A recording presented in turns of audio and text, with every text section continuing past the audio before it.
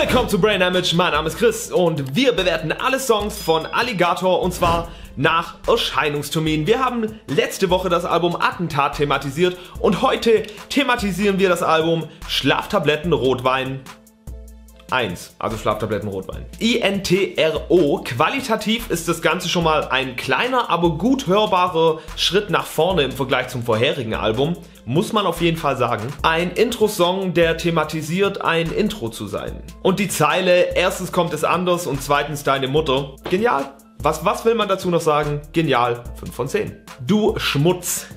Ein Song, bei dem ich mir gedacht habe, okay, qualitativ hört sich das wieder sehr nach Attentatzeit an. Der Beat selber hört sich auch sehr nach Attentatzeit an und wahrscheinlich ist der auch zu dieser Zeit entstanden. Ja, ähm, textinhaltlich, pff, Audioqualität, pah, ähm, Song selber hm, ist okay, 2 von 10. Schwule Cruise 1 bis 3 ist besser als der Triple Penis Dreiteiler von Attentat meiner Meinung nach. Allerdings ist kein enormer krasser Schritt nach vorne. Es ist hörbar. Man muss es aber nicht hören. So, man, man kann die alten Alben hören, das ist ganz cool, um mal so in diese ganze Alligator-Geschichte, was er früher gemacht hat, so um da mal ein bisschen reinzukommen.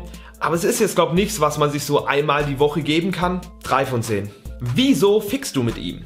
Ist ein ganz cooler Song. Die Hook geht auf jeden Fall sehr gut ins Ohr. Aber das Feature, also der Feature-Gast, ATM, Jetzt mal ehrlich, das ist doch Paradox. Also beim letzten Teil habe ich das ja vermutet, aber das, das klingt eins zu eins wie Paradox. So vielleicht ist es auch total offensichtlich und alle wissen das. Bitte schreibt mal in die Kommentare. Ist ATM Paradox?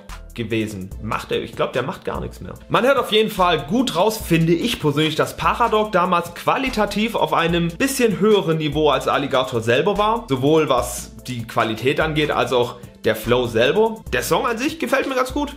5 von 10. Drei Schwänze. Wir haben hier, glaube ich, wieder einen Song, der zur Zeit vom Attentat-Album entstanden ist. Das macht aber auch Sinn, weil die STRW-Reihe war ja eigentlich eine Ansammlung an Songs, die innerhalb von einem gewissen Zeitraum entstanden sind. Das ist wie ein Mixtape eigentlich. STRW ist ja eigentlich mehr wie ein Mixtape und deswegen macht das auch schon Sinn, dass wir hier qualitative Unterschiede haben. Qualitative Unterschiede.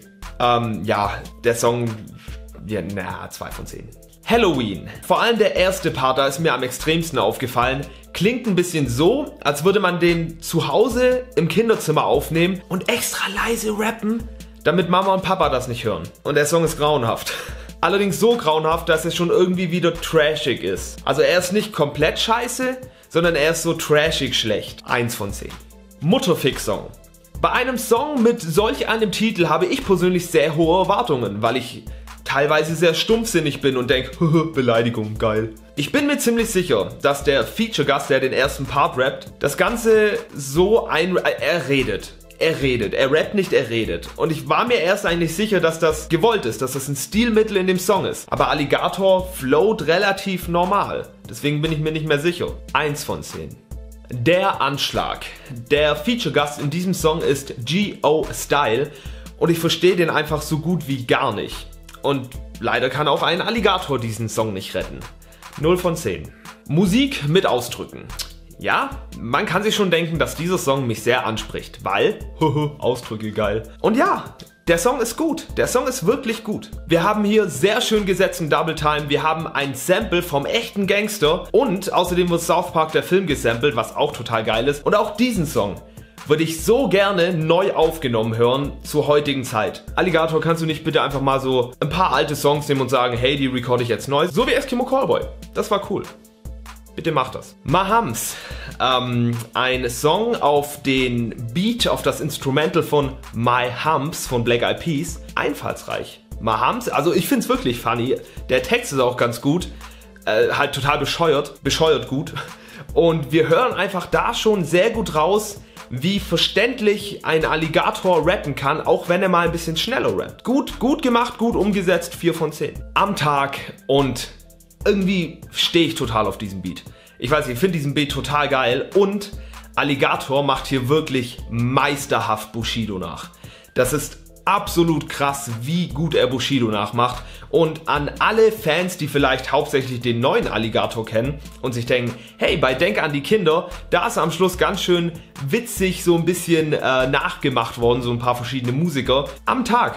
Damit hat alles angefangen. Hört euch das gerne mal an. Kommt zu einem späteren Zeitpunkt nochmal ein Song, wo äh, hier gebeitet wird, in Anführungszeichen, ein Rapper nachgemacht wird. Aber da kommen wir dann dazu, wenn es soweit ist. Am Tag Hörempfehlung, 6 von 10. Keine Chance und oh Gott, nein. Wir haben hier wieder einen Text, der den Song fast schon wieder ein bisschen trashig macht, aber nein, nein, nein, 0 von 10. Einen drauf. Yay, ein Gitarrenbeat. Und die Grundidee zu diesem Song ist eigentlich total geil, denn es geht darum, dass man immer noch mal einen draufsetzt. Und die Idee ist gut und die ist auch gut umgesetzt. Nur leider Abzug durch mangelnden Hörgenuss. 4 von 10. Die Gangster und der Terrorist. Leider mein absoluter Tiefpunkt vom Album. So substanzlos, dass ich eigentlich gar nichts zu dem Song zu sagen habe, wirklich. Ähm, der ist einfach nur schlecht und die Feature-Gäste sind sehr schlecht. Leider 0 von 10. Schlaftablettenrotwein, ein Song, der titelgebend für eine inzwischen fünfteilige Albumreihe ist, ist ja nur die Frage, wie gut ist dieser essentielle Alligator-Song, der so essentiell ist, dass fünf Alben danach benannt worden sind. Ganz gut, ganz gut. Auch hier ein Track, den ich mir sehr gerne mal 2020 anhören würde, im Sinne von neu recorded, im heutigen Stil. Wird mich mega interessieren. 4 von 10. Wir geben nicht auf und auch hier wieder ein eher älterer Song, das hört man an der Qualität eben raus.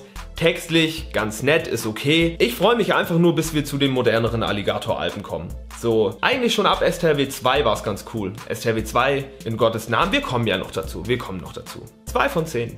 Dunkel war's. Der erste Song, in dem wir richtig schön raushören, in welche Richtung Alligator sich entwickeln wird. Absolut musikalischer Song mit Gitarre. Ohrwurm-Hook absolut durchdachter und genialer Text. Ist einfach nur absolut geil. Der Song ist meiner Meinung nach so dermaßen gut, dass er trotz mangelnder Audioqualität eine 10 von 10 bekommt. So dermaßen geil ist dieser Song. Deswegen war er wahrscheinlich auch auf dem 10 Jahre Alligator Best of Album drauf, eben weil er so dermaßen geil ist. Bitte neu aufnehmen. Happy Slapping, auch wieder ein eher bettlastiger Representer-Song. Ist nicht scheiße, ist nicht herausragend. 2 von 10. Kult, in Klammer Outro. Das Quiz am Ende, das, oder in der Mitte von diesem Outro-Track. Genial.